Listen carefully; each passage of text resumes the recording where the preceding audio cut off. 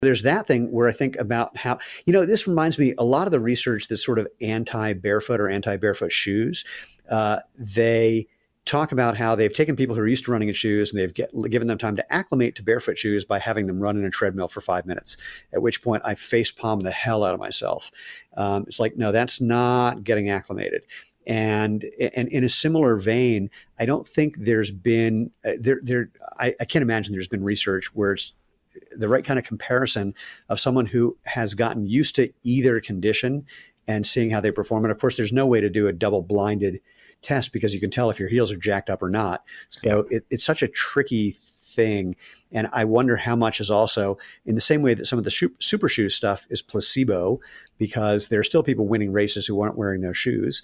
Um, I wonder how much of it is when you know you have a shoe that's supposed to improve your performance, your performance is improved because of what your brain is doing. Yeah, more 2016. Uh, and it, this was actually on discussing uh, potentials for uh, wrist development hmm. because you have this psychological dependence on the equipment. Uh, and this is specific to Olympic lifting shoes, by the way, oh. and the perceived performance enhancement, right? So I think we could extrapolate that. Uh, but uh, yeah, it, it's around increasing athletic performance based on the psychological effects of the shoes.